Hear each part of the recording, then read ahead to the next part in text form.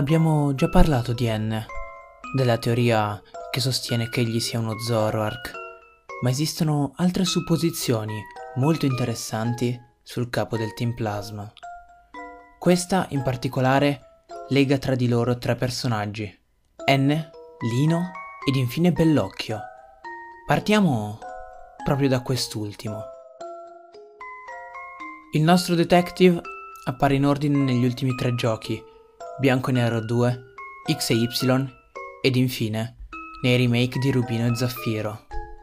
In ordine cronologico, questi giochi si mostrano in questo modo, con la sesta generazione e i sequel della quinta a pochissima distanza tra di loro. Perché questo è importante?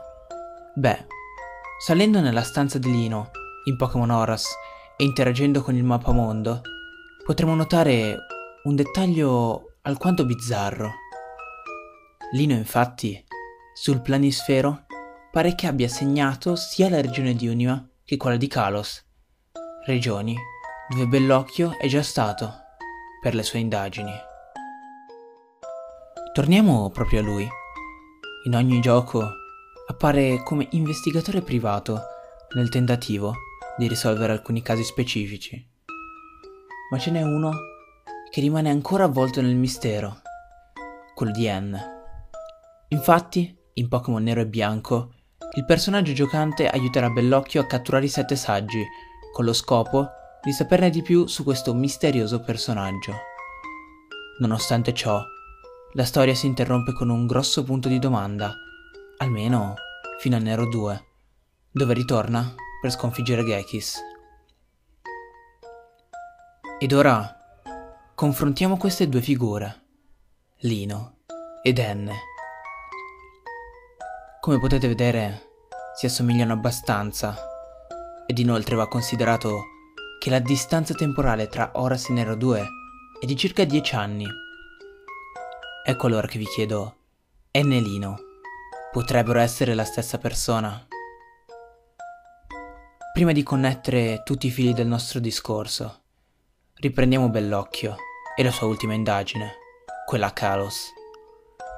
Non si sa esattamente perché si trovi lì, ma poniamo per assurdo che Bellocchio sappia che Lino sia N. Dove andrebbe a cercarlo, dopo Unima? ovviamente a Kalos, luogo a cui il giovane Lino teneva molto, senza considerare che a dispetto di quanto si pensi, la regione di Kalos non è troppo distante da Unima, come dimostra la statua di Reshiram nel giardino della Reggia Aurea, a Kalos. Ecco allora che il cerchio si chiude e la ricostruzione dei fatti ora assume un senso logico. È possibile dunque che Lino sia partito per Unima, luogo che voleva visitare sin da piccolo, ma sfortunatamente fece l'incontro con Gekis. Probabilmente vittima di un qualche lavaggio del cervello o di un trauma che lo separò dalla famiglia, il perfido comandante del Team Plasma si sarebbe servito di Lino per il suo malefico piano.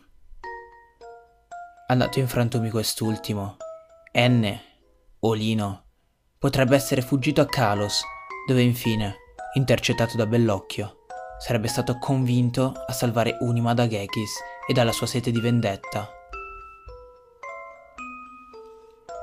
Rimane un ultimo punto interrogativo però.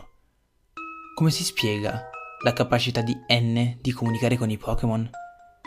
Se Lino non ne è in grado. O magari, in realtà, Lino ci nasconde qualcosa.